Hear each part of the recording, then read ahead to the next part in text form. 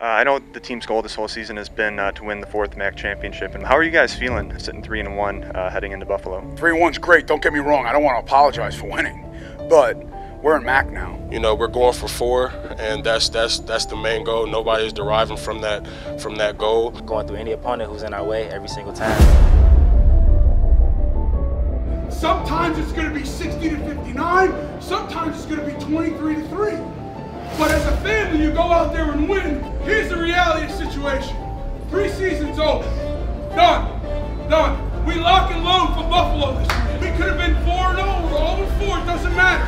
Our railroad tracks are running right through Buffalo, New York. You have to prepare the same way. Get better, get better, get better. Great teams get better week in and week out. I can't tell you how proud I am